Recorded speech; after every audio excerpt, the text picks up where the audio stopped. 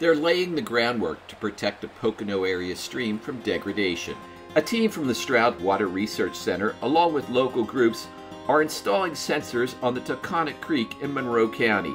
Two types of sensors will be placed in the water. This sensor, which is a sensor by meter group, measures three of those parameters, water depth, temperature, and conductivity.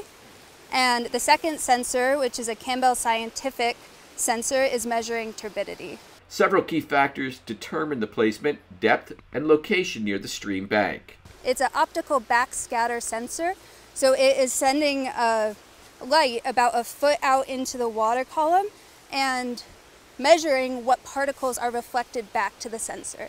So if anything is in that way of the field of vision, it'll foul your turbidity readings. Attach the PVC pipe hose clamp together, and then this slides directly on the data is stored in a nearby station, but is also available online. This data logger records data every five minutes and using cellular telemetry will send those data to an online portal called Monitor My Watershed. So every five minutes it's taking multiple different parameters and sending them to an online portal for anyone to access. Two of the monitoring stations are being placed on the Tunkhannock and a third on a tributary called Kuiper Run. Local watershed groups are installing the monitors in order to collect data. The Tunkhannock is a 19 mile stream and is listed as an exceptional value waterway by the Pennsylvania DEP. The designation prevents any degradation of water quality in the stream.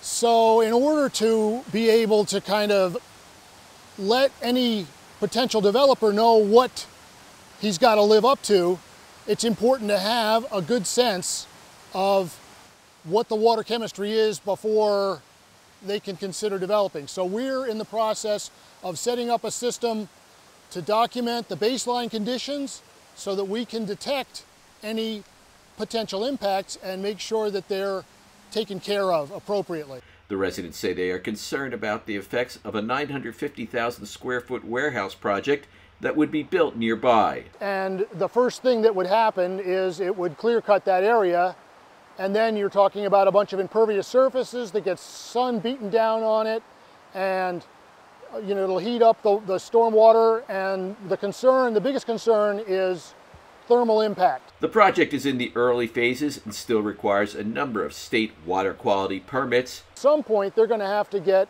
a permit for their wastewater and stormwater discharges.